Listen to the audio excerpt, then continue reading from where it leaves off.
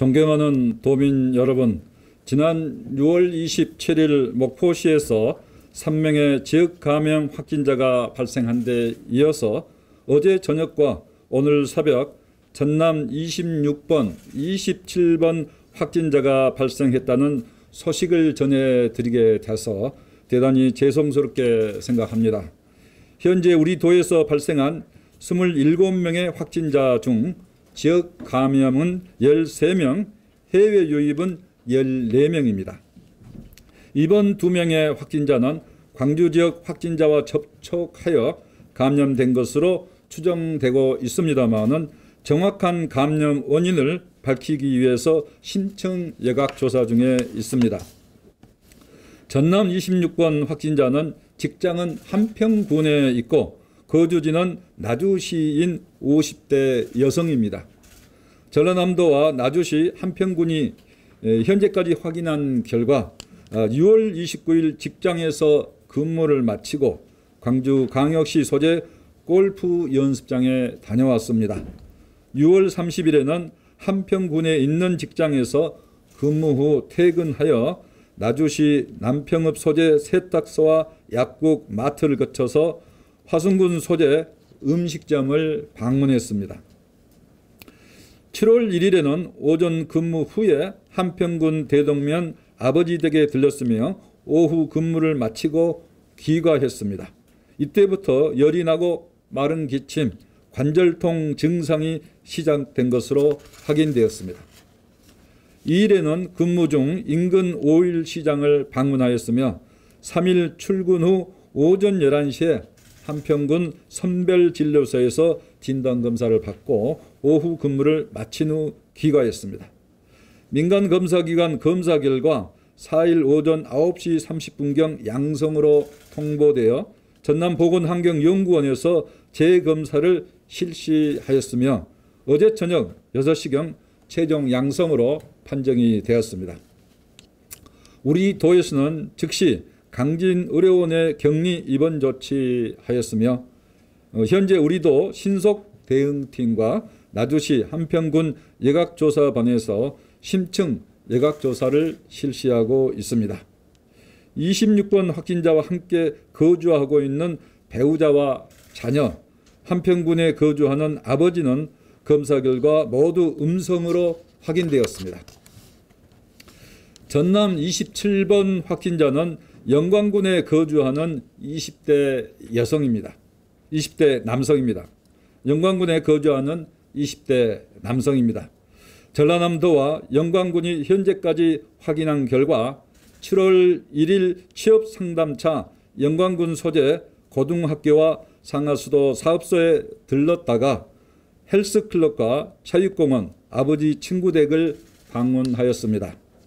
이 일에는 영광군 소재 헬스클럽, 마트, 농협 현금 인출기, 분식집, PC방에 다녀왔습니다. 같은 날 광주 북구 보건소로부터 6월 29일 들렀던 광주건설기초교육원에서 광주 확진자가 발생했다는 통보를 받고 영광군 보건소에 전화 상담 후 자가격리 안내를 받았습니다. 3일 아버지 차량을 이용해서 영광군 선별진료소에서 검체를 채취하였고 민간 검사기관 검사 결과 4일 오후 6시경 양성으로 통보되었습니다. 전남보건환경연구원에서 재검사를 실시해서 오늘 새벽 2시경 최종 양성으로 판정되었습니다. 우리 도에서는 즉시 강진 의료원에 격리 입원 조치하였으며 우리도 신속 대응팀과 영광군 예각조사반에서 심층 예각조사를 실시하고 있습니다. 현재 27번 확진자는 증상이 없는 상태이며 함께 거주하고 있는 부모님 검사 결과 모두 음성으로 확인되었습니다. 26번과 27번 방문지 등 관련 시설에 대해서는 방역 조치를 완료하였고 추가 예각 조사 결과가 나오는 대로 정확한 이동 경로 등을 도민 여러분께 즉시 알려드리도록 하겠습니다.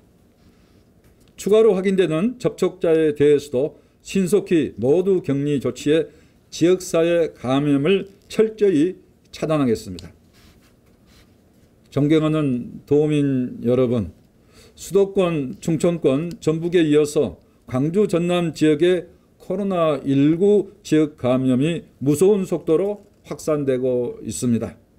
사찰과 교회, 병원, 요양시설, 방문 판매장 등 다중이용 시설의 지역 감염이 계속돼서 더 이상 생활 속 거리두기만으로는 청정 전남을 지켜내기 어려운 위중한 상황입니다.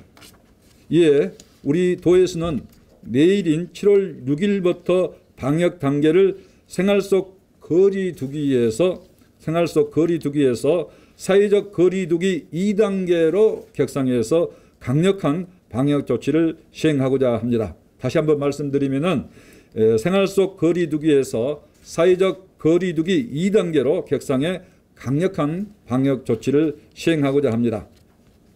첫째, 실내에서는 50명 이상, 실외에서는 100명 이상의 모임과 행사 개최가 전면 금지됩니다. 둘째, 대중교통을 이용하거나 음식점, 카페 등을 이용할 때 마스크 착용은 의무사항입니다. 지난 3일부터 도내 전역에서 대중교통 마스크 착용과 식품 적객업소 마스크 착용을 의무화하는 행정조치를 취했습니다.